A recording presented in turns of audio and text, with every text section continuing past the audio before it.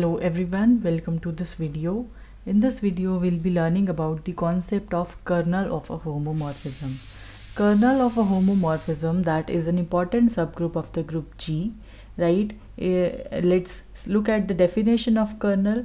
Kernel of homomorphism of a group G to a group G with identity is this set. X belongs to G such that phi of X is identity. So basically what we are saying here, we have two groups G and G bar, right? A mapping phi is defined from this group to this group, right?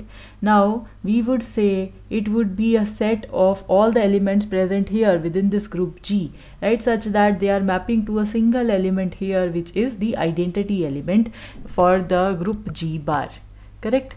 So this is the definition. So all these elements would constitute your kernel of the given mapping phi which is a homomorphism correct? And we denote uh, this kernel of phi by writing capital K uh, in small er of phi correct? Phi represents the mapping and this ker represents kernel of this mapping. Okay. Now let's have look at some examples for kernel of a homomorphism right? So for kernel of a homomorphism, uh, our first example here shows us that we already saw these examples when we were talking about homomorphism. Now let's discuss what are the kernels of these particular homomorphisms, right? So we have discussed that R star to be a group of non-zero real numbers under multiplication. Then the determinant mapping which uh, maps some matrix A to the matrix determinant A. This is a homomorphism, right? And uh, we say this is a homomorphism from the general linear group to the group of non-zero real numbers right? The kernel of this mapping is the special linear group of order 2 consisting of all real entries right? How this is there how this is the kernel of the determinant. Now for that you should first of all be clear with these things that phi maps all the elements from this general linear group to R star, right? R star is non-zero real numbers and this consists of all 2 cross 2 matrices of order 2, right? And having real entries right? And the determinant here is non-zero. This is also there. Because then only you are able to calculate uh, the uh, the elements here right? If the determinant is non-zero then only your elements would lie in r star. Otherwise they would be lying in uh, the set r the set of all the real numbers including 0 now we have excluding 0 here right? So here we are looking for such members uh, now this mapping if you take a here it will give you determinant a.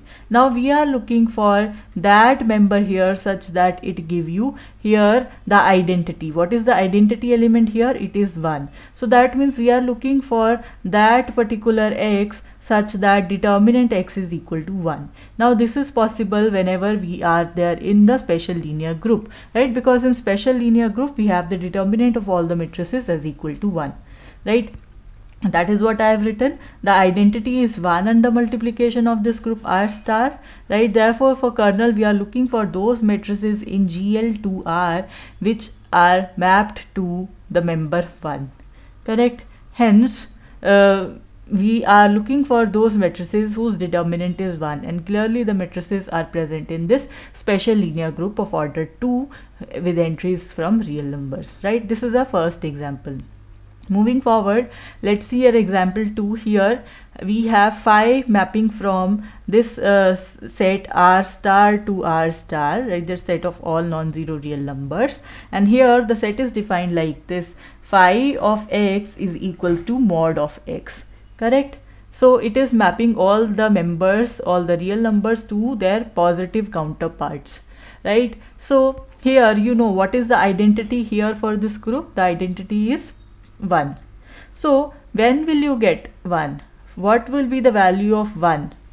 If you have mod x is equals to 1, then x should either be equal to minus 1 or plus 1. Only these two possibilities are there. Hence, our kernel is only uh, this which consists of two entries minus 1 and plus 1. Similarly, for our third example here, uh, we consist of Rx to be the group of all polynomials with real coefficients under addition right? Now we have our mapping uh, phi right? Mapping phi such that it is starting from the set of uh, the uh, the group of all polynomials with real coefficients to the group of all polynomial with real coefficients such that phi of some polynomial f of x is equal to f dash x right? Where f dash x is the derivative of the polynomial f now what is the identity polynomial in rx first of all you need to identify that. We have our group operation as addition. So obviously the identity polynomial would be 0 uh, right? 0 0 plus 0 x plus 0 x square and so on which is a zero polynomial. So therefore now you know we have the identity polynomial. So for kernel we are looking for all those polynomial f of x such that it is equal to the zero polynomial correct? So you know uh, what is the definition? So we are looking for all those polynomials such that the derivative is zero polynomial correct?